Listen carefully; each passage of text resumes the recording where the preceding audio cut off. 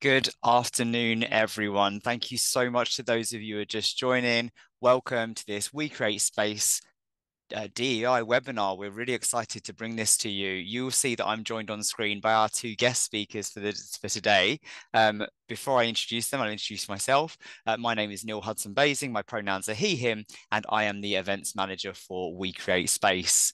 Um, we are really delighted to launch this series of webinars um, created for our global DEI business community. And we're going to be addressing some of the current issues faced um, by and affecting marginalized groups and identities. Um, and throughout this series, we'll be joined across the year um, by experts who share insights, lived experiences, and practical tips on all the things that we will be discussing um, to help foster a more inclusive workspace. And before I share my slides and launch into a, a formal intro, let's hear from our speakers. Um, Andre, over to you first.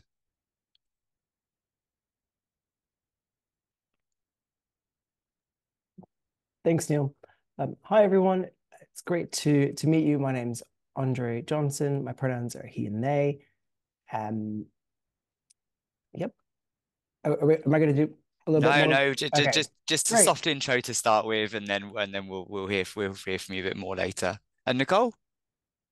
Hi, Nicole Simpson. My pronouns are she, her. I am wearing a baby pink denim jacket with a leopard print sweater underneath. I am a Black woman with shoulder length black hair.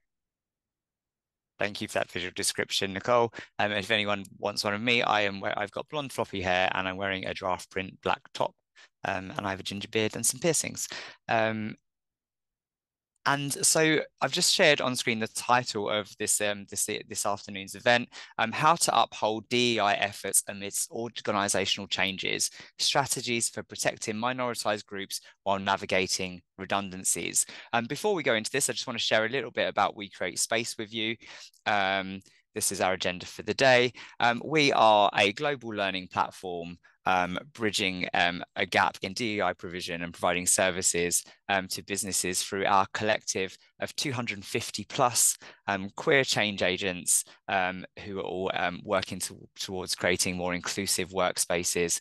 we do this in a number of ways, and it's mainly to address the fact that DEI is really good for business. 76% of employees and job seekers prioritize diversity in the workplace, yet only 40% of managers feel confident when discussing DEI related topics. So we are here to shine a light on those conversations um, and bring them to the service surface, particularly in what seems to be quite challenging times for DEI, which we're going to cover in a moment.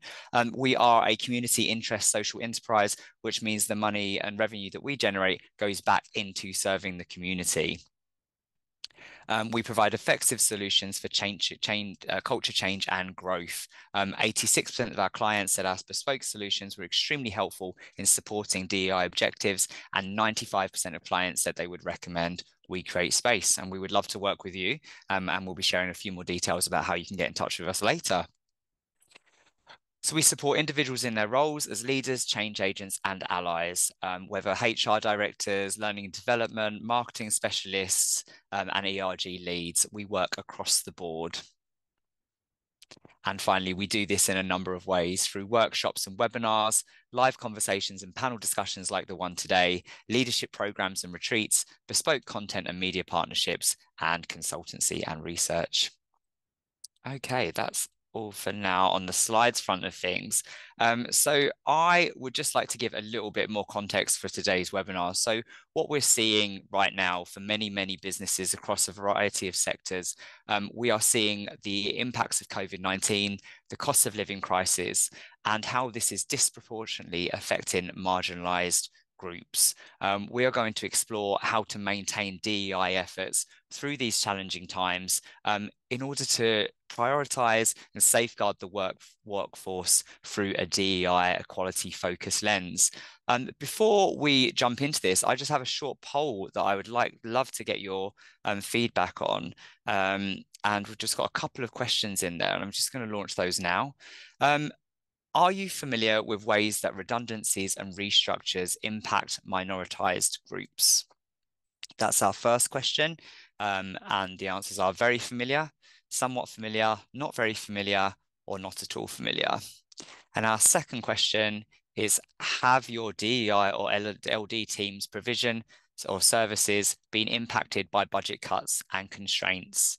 We would love to hear this. A nice grounding poll, and that gives us a real basis for the rest of the conversation, which will be packed full of insight and hopefully lots of takeaways from Andre and Nicole this afternoon. So we'll just keep that going for a couple of seconds. And while we do, just to give you some more um, context for this. So there's a lot of research out there that talks to what we're talking about today, and that's the ways that organizational changes, particularly in the way that redundancies and restructures impact marginalized groups, um, is a major factor. So Unison um, looked at the impact of redundancies on black workers in local government and showed in councils um, across England that black workers were more likely to be made redundant. In one council in London, black workers made up 31% of the workforce, but 63% of redundancies. Similar from the TUC, uh, they showed that Britons from ethnic minority backgrounds in the United Kingdom have been disproportionately affected by job cuts during COVID 19.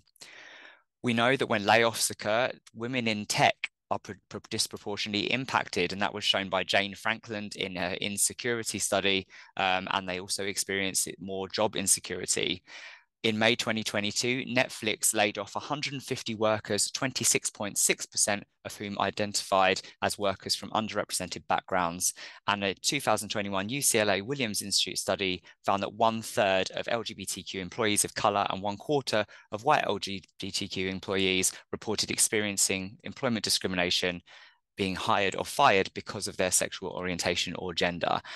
Now, those are quite telling stats and they really speak to what we're going to be speaking about today. Um, with that, I'd like to I'd like to hear from our panel. So Andre, Nicole, could you tell us a little bit about yourselves, what you do and your experiences in relation to the theme of today's webinar? Um, age before beauty, so I will go first. Uh, so as I mentioned, my name is Nicole, and I am currently Director of DE&I for RAPP, which is an Omnicom agency. Um, previously, I was a paralegal um, for many, many years, and so I also bring some of my legal expertise to this conversation and my relation to the topic. So I'm using both hats today. So my former paralegal hat as someone who worked in employment law and also as a DE&I practitioner whose job it is to help my company make sure that when they're making decisions about a reduction in force, that those decisions are equitable um, as much as possible. Thanks, Nicole. Andre? Thanks, Neil. Um, yeah, so um, there's a few different things I guess I'm bringing into today. Um, as I said before, my name's Andre, uh, pronouns are he and they, and I'm the uh, Community Equality Program Lead at Westminster City Council, which is a central London borough within London, about um, serves about a quarter of a million people. Um, if you've ever been to London, it's the borough where all the kind of big, important Londony stuff that oftentimes people go to uh, London for is located. Um, so in my day job, I, I, I kind of look after DE&I for our community. Um, and in addition to that, my my kind of um, my rainbow job or my LGBT job is I'm one of our uh, LGBT plus network um, co-chairs. And, and prior to that, uh, my background is in DEI consulting um, and kind of general social policy space. Um, and if anyone's curious outside of this, I'm also a very, very amateur music producer. Love that. Thank you. I also I you hear more and more that these days people talking about the day job and then the gay job. So yeah, lo loving the nod to that. Um, so I'm just going to bring up our results um, just now from the poll. Um, so 14% of 14 and 32% are very and somewhat familiar with the ways that redundancies and restructures impact minoritized groups, um, with 55% saying they are not very familiar. And I know we're going to shine a light on that in our first question. Um, and then our audience share that have your DEI or learning development teams provision services um, being impacted by budget cuts and constraints. 45% um, said yes recently, and 25% said yes some time ago. So thank you so much for sharing there. We are going to jump straight into um, maybe enlightening you on the ways that some some of the ways that marginalized groups are impacted by organizational changes. So, Nicole and Andre, our first question for you both is, you know, we've we, have we have kind of talked about how research has shown that organizational changes in the way of redundancies and restructures impact marginalized groups. Are you able to help da- break it down for the audience as to some of the underlying reasons for this? And Nicole, I'll come to you first. Of course you are, because you know that I want to light things on fire, Neil. Um, so basically, we're just going to name the elephant in the room, eh, which I believe to be systemic bias and racism.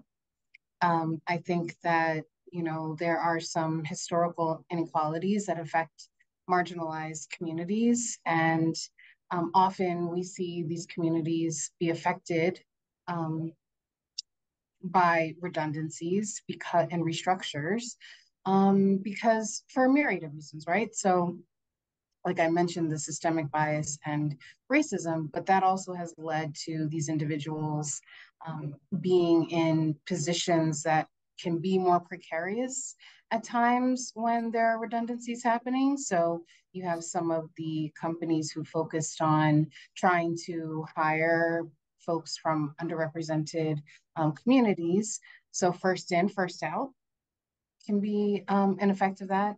And also the decision-making process itself about when you're looking to make reduction in force can be, um, can reflect unconscious bias. So in my past life as a legal professional, um, the general counsel was brought in to make the decisions about what a reduction in force looked like and what was the demographic makeup of that reduction um, to make sure that we were uh, equitable in those decisions. And I feel like companies that are not enlisting um, legal guidance to make some of these decisions can definitely fall victim to um, their own unconscious bias. And also, the last point I'll make is that sometimes when these redundancies happen, um, folks who are well connected and well networked are able to find a new place to land.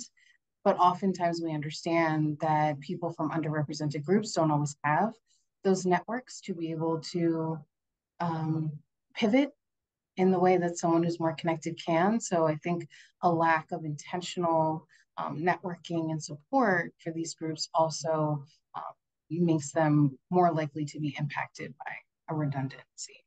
So those are a couple of my thoughts. I know um, Andre has some, and I'm sure he'll spark some more from me as well. Yeah, thanks, Nicole. Um, yeah, I think firstly, uh, first and foremost, I, I just want to kind of um, take a moment to say absolutely agree.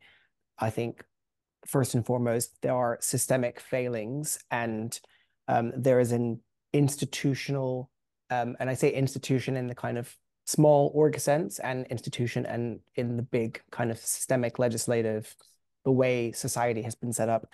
Um, but um, you know some things we can qu quite clearly point to them and say that has been intentionally designed to historically uh, kind of systemically exclude people and other things. Um, it's maybe less obvious but um, something that I see a lot in organizations is uh, the way that these institutional kind of structures and systems and that, that bias that Nicole was talking about reflects in what is often kind of referred to as company culture and what we deem as culture.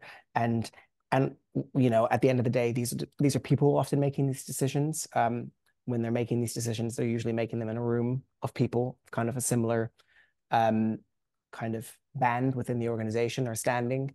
And and oftentimes, if um, like my organization, if if that room is quite homogenous, then the way that they think, the way that they process information and make those decisions might um, reflect those internalized biases. Um, I think uh, we spoke, Nicole spoke a little bit about first in, first out. One of the things I was thinking about on that, on the back of that was um, they actually, some of the lack of foresight that organizations have when they think about um, kind of diversifying, um, kind of recruiting people in and thinking about actually what are we inviting people into? And are we inviting them into a place and a culture where they're going to be um, able to thrive and where their, you know, um, difference in, in lived experience or difference in understanding is going to be kind of celebrated and valued and acknowledged, or is it going to be seen as something that's going to be continue to be a barrier for them? Not because they want maybe they want that to be a barrier, but because the way the organization might not be ready for them. And that's something that I, I was reflecting on a little bit is thinking about actually, um, you know, part of the uh, the the challenge that, that we face when it comes to these kinds of things is how do we actually get organizations ready for for people and and then when we go into these kind of innocuous or or hard areas like redundancies um how do we approach that and not just kind of oh well we hired everyone and we recruited and now we're it's all fixed i think you just gave a perfect segue just to share that someone shared in the chat box, homogenous is a great word to articulate the challenge. Um, I work in a historically pale grey, um, a male organisation, and we definitely see that with um, with the way that some redundancies are, handled. I know when we chatted yesterday, um, I shared about how um, uh, my one of my former workplaces, out of 120 redundancies, 25% of them were from the LGBTQ community, and you and you see that with the lack of representation at leadership so a complete kind of oversight of the large impact on one specific group within that. Um, yes, perfect segue. Um, we are, we're talking about kind of minorities being impacted, um, and they're also impacted by lower employment rates generally, further compounded by issues around bias, discrimination, and harassment at work, um, pay gaps, as well as lack of support and attention around interview processes, redeployment, and and a general awareness of challenges. Why do you think it's so important for leaders and organizations to be aware of these challenges, particularly you know, if it's outside of their knowledge sphere. Andre, I think you were onto something, so I'm gonna let you keep going and then I'll piggyback. Sure, no problem. Um, I think uh, obviously today we're having a conversation kind of in the context of um, kind of restructures and um, and those kind of big, hard to make organizational decisions.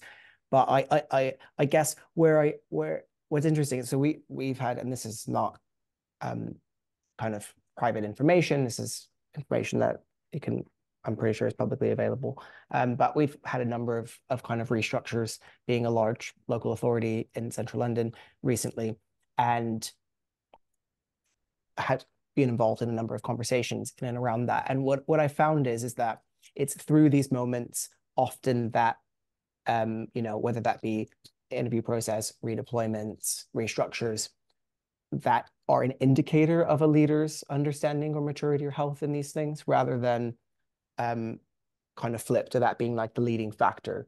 So it's often um, in those more challenging times that then reflect a leader's maturity in these areas ra rather than kind of the diversity inclusion initiatives or the, the things that we that we get to choose that happen versus the things that happen to us as an organization.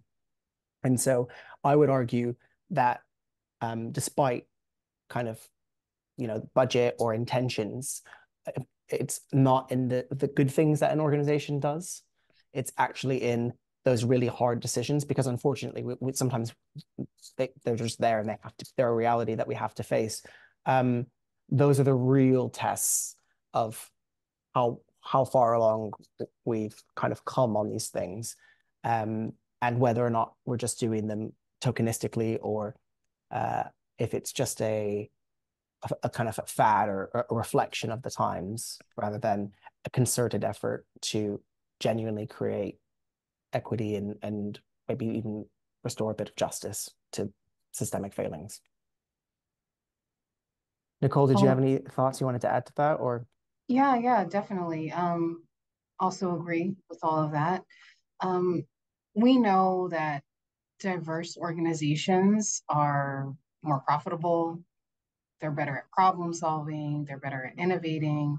And we also know that there is um, a large population of the workforce that really cares about what their organization cares about. And so I think organizations have to be aware that their potential investors, depending on the um, area that you work in, that your stakeholders, depending on who you work for, um, your consumers, depending on who you work for, but definitely your potential employees really care about your commitment to social responsibility. So I think that there's an expectation that you're going to show that you are aware of these things. Not only are you aware that you're actually putting things in action and that you really are about that life, as the kids say.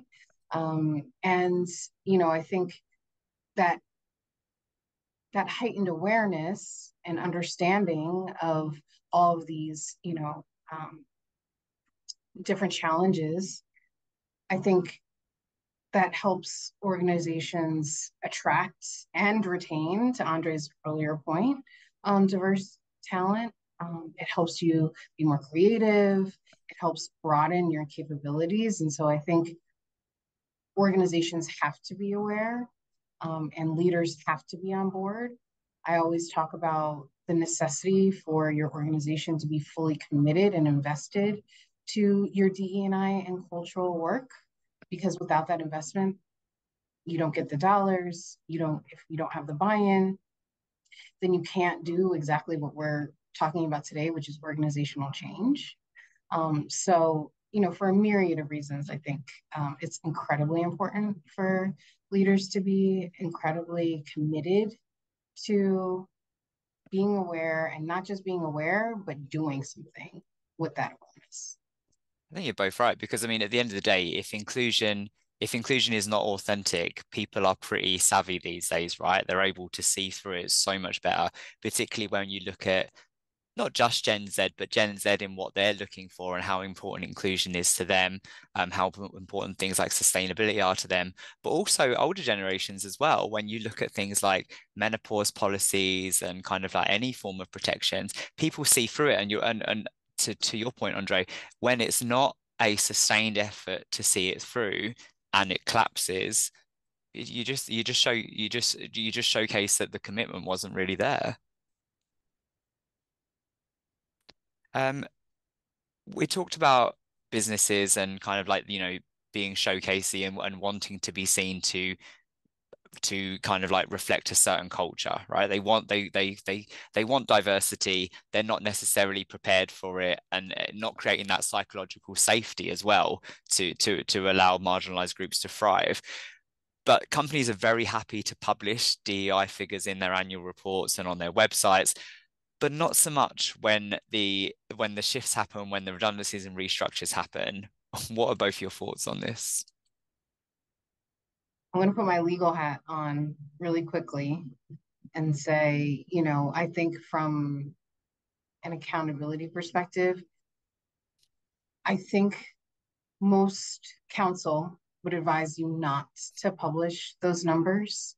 Um, I think for a myriad of reasons, but you open yourself up to, and we can debate whether that scrutiny is valid or not mm. at another time. But from a legal perspective, you could be opening yourself up um, to EEOC action, as we call it in the US, uh, lawsuits, you know, the whole nine, um, depending on what the information is, depending on what it shows, and all of that. So I do think that from a mitigating risk perspective, um, and again, not arguing the, valid- the validity of whether that's a right or wrong thing, just saying that that is something that I think is very real, real for companies, specifically companies that are publicly owned and traded. Um, I think there's a different level of um, hesitancy to be transparent. Now, on a personal note, I think it's important to be transparent. Let me be clear about that. Um, but I also understand from the legal side of things why there's reticence to share.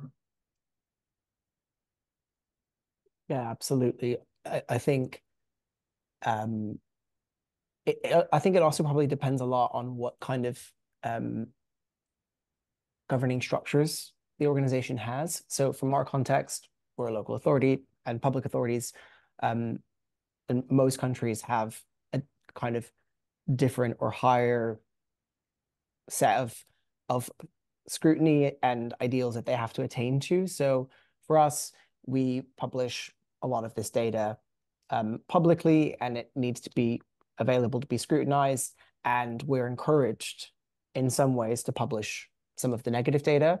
Um, I think there's probably, as Nicole said, a, a larger conversation about um, how that, I guess, the implications of that and the way that public receives that information as well. I think about context, for instance, um, where we had a couple kind of challenging restructures um, where uh, we were kind of streamlining some of our um, kind of street-based services, and the, those roles tended to have an overrepresentation of certain communities in them.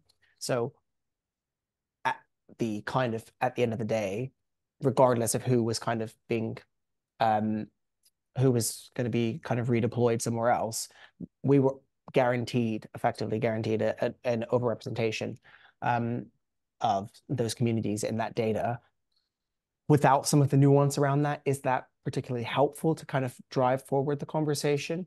Um, well, what we've found, even by kind of being internally quite open about those things in terms like we we kind of publish an internal report that that is pretty transparent about this data that we found that actually caused quite a few rifts in between um, some of those communities internally. So in, in, terms of our staff and the way that people are interpreting that and interpreting, I guess, um, whether one group and their their kind of right to be protected is more or less valid than another marginalized group. And that's a really like it's kind of being between a rock and a hard place. But as Nicole said, I think that I think transparency should always be um, something that we strive for. And I'd like to hope that if, you know, in 10 years time, as we get more comfortable with having these conversations, more comfortable with navigating the gray areas, maybe the zeitgeist will then be ready for us to, to like have fully transparent data sharing. I mean, by then we'll probably all be, I don't know, like chipped or something and all the data will be available all the time. I mean, I'm not, I'm not conspiracy theorist. I'm just talking about like blockchain and stuff like that. So, um, anyways, I digress. That's the we, futurist thinking. yeah. that's a whole that's a whole other webinar. Exactly. Um, we would love to hear your thoughts. As JP just said, what, what you know, what would you want? Would you want to see pub, companies publish this kind of data? Please do drop your answers in the chat box. We'd love to hear your thoughts throughout this webinar. Please do feel free to share them. Um, and if you have any questions for Andre and Nicole as well, please do pop them in the Q and A box. We have factored in time for Q and A, and we'll get around to them shortly. Um, uh, John says, uh, further to the great points made about authentic action from companies, I believe there is also a danger linked to an inauthentic commitment to inclusion. Uh, this can lead uh, to activity designed only to meet targets or knee-jerk reactions. Um, and I know this is something that, that Nicole and Andre feel passionately about. Um, and these fail to address underlying issues and can have a negative impact. And we definitely we definitely see that quite regularly. Um, onto budget cuts and constraints. We know they're happening. You know, they're happening all around the world, and we're definitely seeing DEI teams, human resources teams, and learning and uh, learning and development offerings um, bearing the brunt of this. Um, Nicole Andre, why do you think that's the case? Um, personally, um, I feel that often these things are seen as a nice to have when we think about when we think about DEI, when we think about that feeling of belonging, right? It's seen as this nice, warm, fuzzy thing um, and actually it's not seen as crucial but we know that it's crucial in terms of um, output in terms of psychological safety and productivity and revenue generation you know inclusion makes business sense. Um, how much do you think the recent concept of dei fatigue is part of this as well? Number one i think people are just fatigued in general. Like let's be clear the world is burning. Mm literally, figuratively, all the things. So I think people are tired. Yeah. A thousand percent. So um, I don't necessarily think it's just fatigue around DE and I that we're seeing, although I know what we're getting to around that. Um, I think people are just overwhelmingly exhausted by the state of life. Um, so that's number but number two, I agree with you wholeheartedly, Neil, that um, a lot of times DEI, HR, L&D are looked at as nice to haves, um, where they are absolutely imperative in helping you foster an inclusive culture. So it's just incredibly short-sighted for companies to make these short-term budget cuts, thinking that they're saving money on the front end and not thinking about what happens long term when you literally chip away at the heart of your company because if your people team and your D&I team and your L&D team are actually empowered to do what they do, they really do drive your organization. And so chipping away at that is just chipping away at your longevity. So I think it's um, short-sightedness, thinking that, you know, we're going to save some coins here. Um, in advertising, our roles that are not billable um, are usually looked at first. And so I think that that's part of it too. When you just look at, when you're looking at it strictly from a numbers perspective and you're not thinking about the cultural impact in totality, I do think on paper that because those roles are not revenue generating directly, like not tied to client work, when I say that, I, I do think that we do generate revenue by, you know, retention, being an attractive destination employer, all these things. Like I do think we generate. So um, just being clear that on paper, uh, we're considered non-billable. Um, so again, I just think the short-term vision, um, I think not understanding the strategic value of having a strong people, culture, DEI, L&D um, function and how that drives business success um, because that helps improve employee engagement, helps innovation, it helps with market reach, all the things. So um, I do think that there is some fatigue around DE&I from companies that weren't really committed to begin with, if we're being honest. Um, there were a lot of companies that were committed to posting black squares, to hiring somebody in a role like mine, thinking that they were going to band-aid a, a really systemic problem and weren't truly committed to doing the work to begin with. So that commitment can fall to the wayside due to a myriad of pressures that we see from a legislation perspective, from you know just it not being on the forefront of people's minds. Because like I said, the world is burning. So there are other things that have kind of taken precedent, like people being able to afford living. I don't know. Um, so I could definitely talk about this all day. So I'm going to pass to Andre because I don't I don't want to take up too much airtime here. Thanks, Nicole. Um, yeah, I, I think it's it, it's a really interesting place that we're in because um, you know, a few years ago there was a lot more conversation, a lot more buzz in this, and a lot more focus. And some of our el elders in our communities, you know, uh, for context, um, I'm Afro Latino uh, background, uh, kind of mixed mixed family. Mom's white British, dad's Afro Latino, and uh, my when George Floyd happened, some of the elders in my family, the first thing they said is like, "Oh, we've seen this before. We we we know we've we've seen this conversation." And I think for some some of us who were younger, um, like myself, not that young, but young enough that um, it felt like it was a different moment and and and and who knows maybe it will be i don't want to discredit the change or um progress that we may have made um but some people they predicted that this fatigue was going to come. And um if we look at you know kind of broader history and we look at the, the challenges that our society faces I, I don't think any of us are particularly surprised. What i'm what i found interesting though is um, on kind of collective fatigue is one thing, but then when you're having conversations with individual people, is that fatigue and allyship, and I and I found that really interesting. Is that um, as Nicole alluded to, you know, the conditions of our lives are, are very different now than they were four, five, ten years ago, and that already takes a toll on us. But on one hand, I feel that fatigue personally in the areas where I'm striving to be an ally.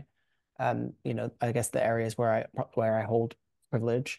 Um, and then on the flip side, feeling that fatigue in those areas where I don't hold privilege as someone who is just trying to navigate this world and and and definitely have those times where I just kind of want to close in, be insular and and just look after my own and and kind of, you know, um, and so I think it's it's really hard balancing that. And what we've done as a team, we've really been trying to kind of hold space for ourselves within that in the professional context. Um, I think fortunate that we that we're we work in an organization where we're allowed to do that and encouraged to do that. Um, because I'm conscious that often, you know, we're if we're going to continue to to kind of drive those conversations and do that work, we have to have something to give. Um, and on the flip side, then trying to build and understand my skill sets so that I can better encourage and support those allies who are feeling that fatigue. Um, because we will probably have to continue to adapt and evolve to to kind of continue this work on. And and and if we look at the history of this work, you know, a lot of these concepts, a lot of these terms have been around for decades and they've only made it into the popular kind of lexicon now. Um, and I think that's in part because it's probably come and, and ebbed and flowed and and it's taken some time for people to really understand the, the value of this. I am hopeful though that we'll see longevity and those organizations that really take this serious and it will show and in due time organizations that haven't quite gotten it yet will either you know adapt or won't have that longevity and and if that's the case then i uh, you know i'd be very encouraged uh, and and hope that those organizations that do have that longevity can hire all those people who are trying to trying to jump ship and find somewhere better to work adapt or perish exactly We've got some great conversation going on in the chat box, so do dip in. Um, a couple of um, a couple of quick fire questions before we move on to some of the more takeaway questions. Um, someone popped in the Q and A box. Nicole, you, you mentioned about overwhelming exhaustion. People are uh, feeling oh, generally, absolutely. You know, I think everyone can resonate with that right now with the with the current state of the world. How do you make sure you meet people where they're at and not contribute to further fatigue and frustration rooted in DEI expectations? I love that question. Thank you to whoever asked it. Um, so my approach to DE&I is very much about getting us back in touch with our humanity because I think that there is this fatigue around othering mm-hmm. and differentness, right? And feeling like um, DE&I is all about, you know, your race and ethnicity or your sexual orientation or your gender and it goes way beyond that. Like there are 30, according to an article that I quote from um, often in built-in, um, .com, there are 39 different elements of diversity when it comes to the workforce. So that can be things like your social economic background, that's your education, that's, um, you know, are you a caregiver? That's, are you a parent? All of these things, right? So I think when you shift the conversation from just focused on the big rocks of DE and I, that that helps to mitigate some of that exhaustion that people feel around the discussion because yeah, it is difficult to turn on the news and see that um, there are some institutions in the United States, some higher institutions that are literally wiping out their entire DE&I departments. That's exhausting to see. So maybe the conversation has to be more about like, let me give you some tips for coping. Let me talk to you about how you identify your values. How do I help you identify what you're grateful for? So, for example, at RAPP, I host um, an office hours every month where um, I basically just bring people together for some human conversations. So, you know, I run them through workshops on gratitude, on how to identify your values, on you know finding your zone of genius all of these things so the conversation isn't so much about our differentness but it's about all the things that we can relate to in our human experience so i try to bring the conversation back to humanity as opposed yeah. to the the de and i scary talk sometimes. We definitely we definitely need that right now. That's brilliant. Thank you. Um, and andre a question for yourself. Um, Derek says personal fatigue, understandable, um, but on an organizational corporate level, do you think it's fatigue or resistance? That's a great question. Um, I think it, I think it probably depends on the context that you're talking about, and for some people, uh, resistance might feel fatiguing or uh, fatigue might feel like resistance. You know, I think it at going back to um, what Nicole said, it it's such a nuanced conversation that depending on each of those 39 um, identities, everyone would probably have a different take on whether or not and you know I'm, I'm sure if i were to sit down and map those out there's certain areas where um, i would probably be, be fatigued where i have a right to be fatigued and other areas where actually i just need to you know kick it in gear and, and like strive better and be better and do better. Um, it's really tricky to to to navigate that. Um, but where i think we can um, I'm, I'm interested to see if the, the future of DEI will will kind of have to adapt is thinking about within that broader spectrum of identities what do like looking at workforces and, and the organization and, and thinking about where do we have the critical mass to focus our energy. So for us we've been on our like seriously on our dei journey for about six years. And part of the reason why um, we've been able to enshrine some of that is because um, we're an organization of 3,000 people, and about 28% of our workforce is from uh, what we refer to as global majority background. So that's Black, Asian, Brown, or minority ethnic background in context. Uh, the UK is about 80% white British, um, but London is about 50 50, and Westminster is 50 50. And we I, th I think we're the most diverse borough in the country. So we were really able to make strong progress in um, conversations around race. And part of that was in part because half of our, if we don't, if we don't understand this, if we're not on the forefront of this, then we're not serving the needs of half of our customer base. And I, I, I hate to put it in, in those terms, but it, it is a way for us to kind of enshrine that and make progress in that. Um, and and so that's kind of one way that we've been able to continue that. And I think by embedding that into certain types of roles and spaces that are like really work really closely with our customers, a lot of our kind of more frontline, our customer service roles, we've then been able to spread some of the burden of that and alleviate some of that fatigue. And ultimately, that resistance, sometimes there will be people, you know, when you're moving the ship who will say, actually, in the long run, I don't want to be a part of this. And and they'll take themselves off the boat.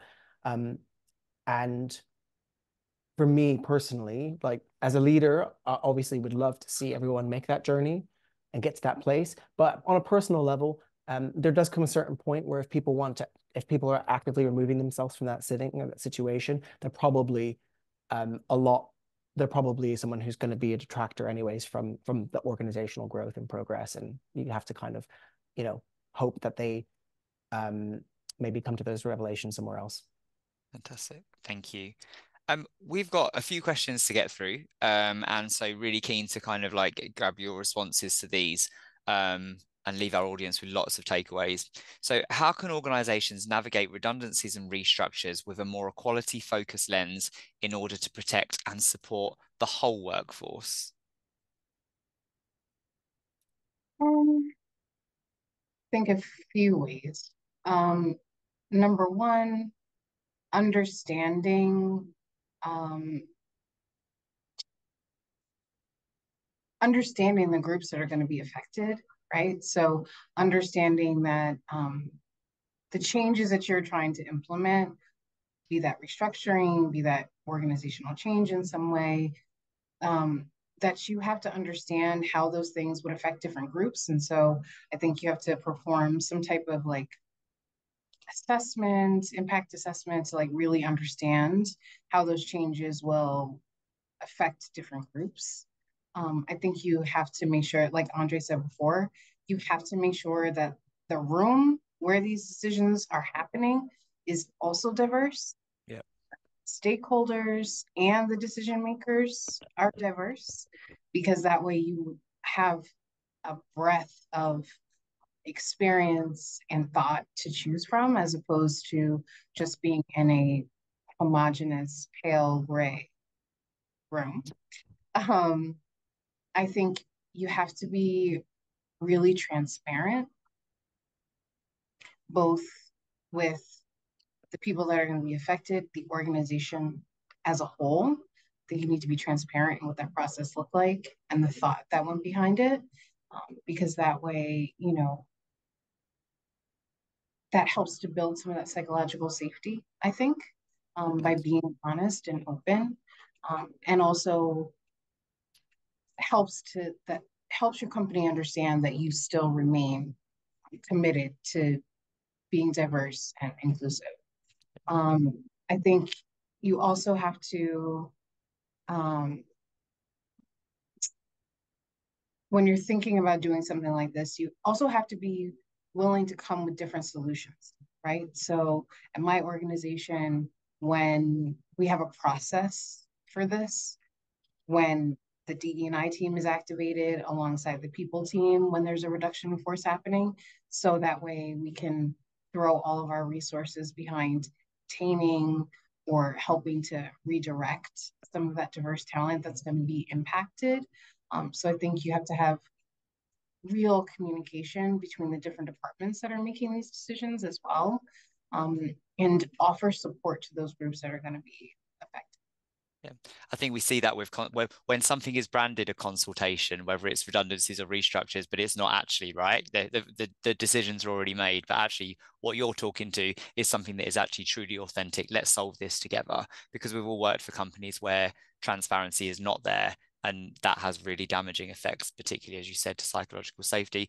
Andre, in terms of um, some ways that decision makers um, that drive EDI efforts can prioritize inclusion and belonging during during um, challenging times, what what would you what would you say to them? Thanks, Neil. Um, and I, I actually probably should have caveated this at the beginning, um, but if you see me diverting my attention from the screen, anyone who's on the call, I'm just writing notes because my neurodiverse brain, if I don't write it down, I'll just be all over the place and waffle. um, but uh, some of so one of the things that we realized quite early on in our journey, and I'm I'm really glad now. I'm seeing. I feel like we're really starting to see the fruits of this now. It um was thinking about at the end of the day, what are the things that are most important to my organization, and how do I um, leverage that to enshrine this work in some way, shape, or form. So for us, you know, as I said before, we're public sector, so um, there's a few things that we that were really helpful for us to, and and and I think the principles behind this can be applied to private sector as well, not necessarily the same mechanisms maybe, but or levers, but the the ideas behind them. Um, so for us, what was really like some things that are really important is like governance is really important to us. So um, we had uh, publicly, again, publicly available information. We had a case where we were um, taken to an injunction, which is where uh, public authority is taken to court by a member of the, um, member of the community. Uh, and that was effectively found that we were, it was a DEI failing for us. And so um, for, for my team, it was a really clear and easy win to come in and respond to that and say, great, if we're going to um, avoid this type of um, activity in the future, and we're going to ensure this doesn't happen again. Let's put in a process in place. For us, that looked like equality impact assessments. So for any decision of a certain level, a certain budget, or a certain size in terms of um, resource and human capital to be made in the organization, it has to have an equality impact assessment attached to it. And that's just a really easy way for us to either check the water and temp check and, and see if there are going to be any kind of unintended um, risks or like consequences attached to that decision.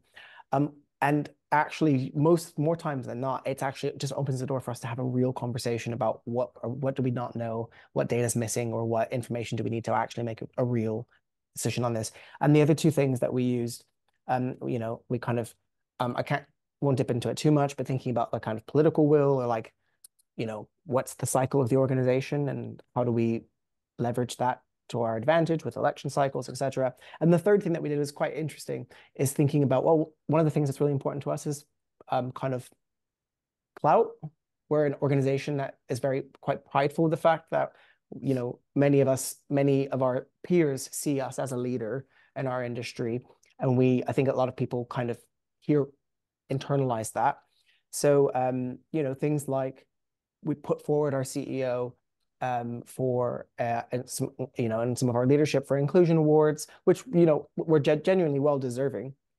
It also made it a lot harder for them than in the follow weeks following that to kind of I imagine to, to navigate some of those conversations with us because now it held them to a higher standard, right? And, and I think and that so it's just thinking about what are the things that are important to my organization and how might I um utilize that to make sure that this work outlasts me. And I think you know, and and really we as leaders we do that in all set in all settings or situations. Sometimes it's probably just harder for us to do that when it comes to um, these issues because they affect us on a very personal level and they're often informed by our lived experiences of exclusion. Thank you. And again, it, it, um, we touched on it the other day, but it's a, it's around this, a lot of it is around how it's going to be a sustained, prolonged effort, mm. and you, hmm. you, definitely touched on that there. Um, sustainability is key. You know, the, these things to, to to break away from tick box inauthentic stuff. It needs to be sustained, prolonged, committed. And that brings us on to a final question, really around the future of the workforce. Um, what are the implications of budget cuts and constraints on representation and diversity within organizations? Just a, just, just a quick answer from you both, if that's okay. Andre said, adapt or perish. That's it. That's it. Because if you think about it, you know, the future is here. The future is diverse. Yep. Future you you have to adapt to future proof your organization and this is the reality that we are in a time where we are the most diverse workforce we've ever been. We have the most generations working in our workforce than we ever have. If you look at the breakdown of gender we have the most gender parity that we've ever had right? So you can tell where things are going and where we're going is to a more diverse, equitable um, workforce, and res- organizations have a responsibility to adapt as such or perish. Love adapt and perish, in the future is diverse. Andre? Yeah, I um, love that, Nicole. I I guess my my closing thought on that would be um, if I if I asked any person or any organization what's important to them, I'd look at how they spend their time and how they spend their budget. And um, so I guess I would just say if if your organization it doesn't care about DEI, then um, in one way, shape, or another, you'll probably find out what they really think or care about you uh, at some point along the road maybe not it, it directly tied to a, an identifiable quality of who you are, but I don't think it's a coincidence that the organizations that care about their employees as people also care about their uh, in DEI and vice versa.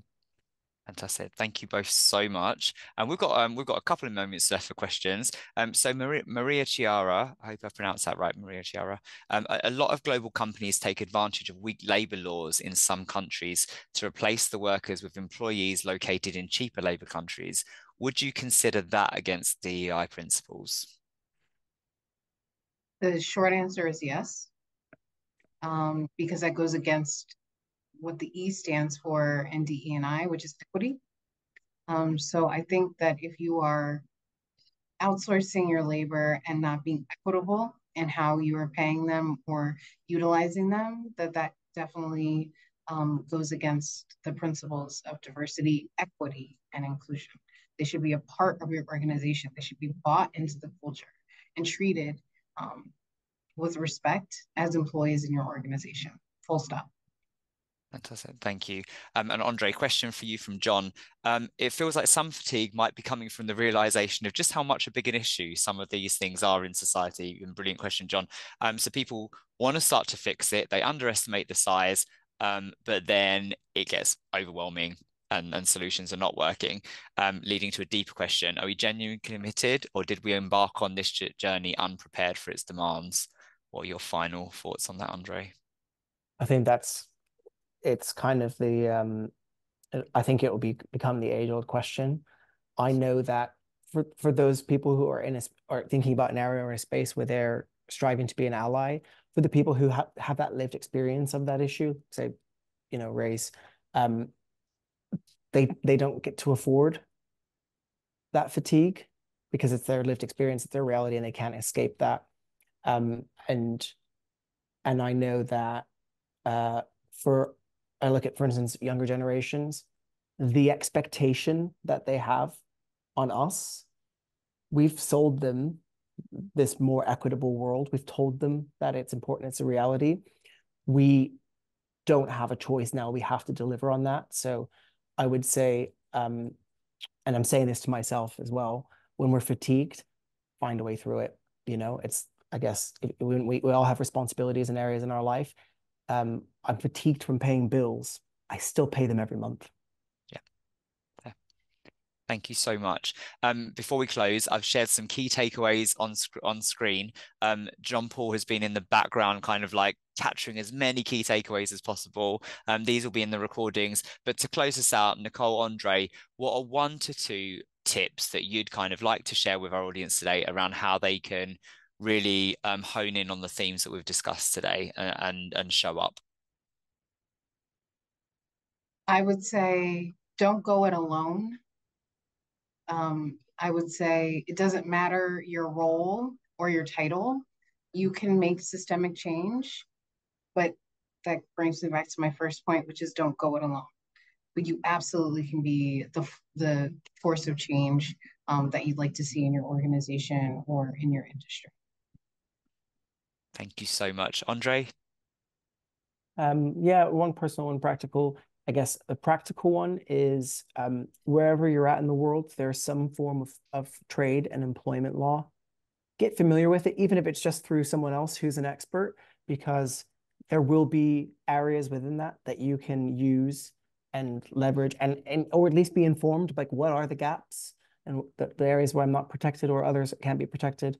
Um, and then on personal level, I think just to, to re-emphasize what Nicole said, um, find those connections, find people um, that you can be vulnerable with and share that weight with because doing this work is really hard work and um, and having someone to kind of hold that mantle with you is really important. Fantastic. Thank you both so much. Um, this session has been recorded. We will be sharing it with you. Um, we've shared our contact details on screen. If you've enjoyed this webinar, please keep in touch with We Create Space. Um, we are here as well to offer DEI provision. We're here to help you, um, you know, fix some of those gaps and kind of like shine a, shine a light on the people that we've spoken about today, the people that are impact, impacted most um, by these issues. So do get in touch with We Create Space if we can support you. Um, and we're going to have a bit more Texas Hold'em as per Nicole's request to see us out. So thank you so much. Please do share your thoughts and feedback, and um, we will see you soon. Our next webinar is on the 26th of March. Thank you. Thank you, Neil. Thank you, Andre. Thanks so much, both. Thanks all. Some great comments in the in the chat box. We'll leave those coming through.